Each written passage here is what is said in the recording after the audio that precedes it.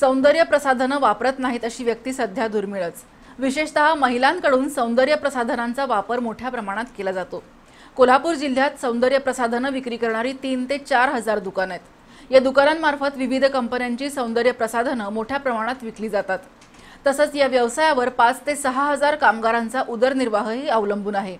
मात्र यावर्षी मार्च महिन्यात कोरोनाच्या प्रादुर्भावामुळं लॉकडाऊन सुरू झाल्यानं सौंदर्य प्रसाधनांची विक्री ठप्प राहिली.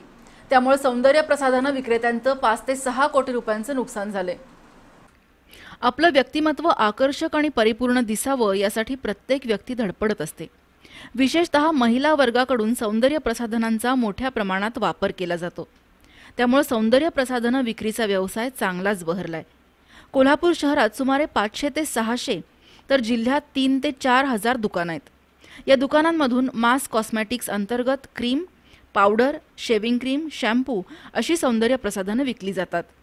तर पर्सनल केअर कॉस्मेटिक्स अंतर्गत कलर लिपस्टिक आयमार्क आणि ब्युटी पार्लरचे प्रोडक्ट विकले जातात. कॉस्मेटिक्समध्ये विविध वस्तूंच्या तब्बल पाच ते सहा हजार व्हरायटीज आहेत.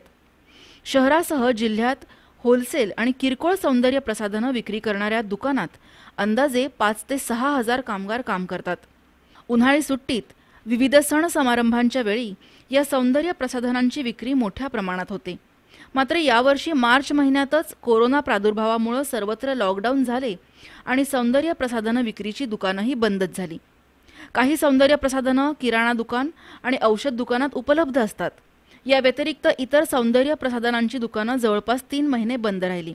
त्यामुळे या व्यावसायिकांचं सुमारे पाच ते सहा कोटी रुपयांचं नुकसान झाल्याची माहिती असोसिएशनचे झोन प्रेसिडेंट विजय नारायणपुरे यांनी बी न्यूजशी बोलताना दिली.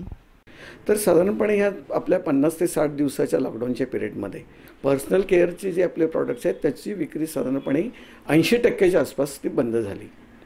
आणि ह्यावर अवलंबून असणारा जो स्टाफ आहे तो साधारणपणे आपल्या कोल्हापूर जिल्ह्यामध्ये जवळजवळ पाच ते सहा हजार लोकांच्या उपजीविकेचा हा प्रश्न झाला. कारण ती शॉप्स बंद असल्यामुळे त्यांचं कन्झम्शन मालाचं कमी झाल्यामुळे हा त्यांना डायरेक्ट इफेक्ट झाला. आणि साधारणपणे ह्या मालाची जर आपण विक्री काढली तर साधारणपणे पाच ते सहा कोटीच्या आसपास ह्याचा सेल हा टोटली कमी झालेला आहे चाळीस पन्नास दिवसामध्ये. या व्यवसायावर अवलंबून असलेल्या पाच ते सहा हजार कामगारांचाही रोजगार बुडाल्यानं त्यांच्या उदरनिर्वाहाचा प्रश्न गंभीर बनलाय. आता लॉकडाऊनच्या पाचव्या सत्रात थोडी शिथिलता आल्यानं सौंदर्य प्रसाधनांची दुकानं खुली झाली आहेत. मात्र लॉकडाऊनच्या काळात झालेलं नुकसान रोजचा वाढता खर्च दुकानाचं भाडं लाइट बिल कामगारांचे पगार यातून मार्ग कसा काढायचा असा प्रश्न सौंदर्य प्रसाधन विक्रेत्यांसमोर यक्ष प्रश्न बनून उभा राहिलाय. बी न्यूजसाठी कॅमेरामन राहुल जगतापसह ताज मुलाणी.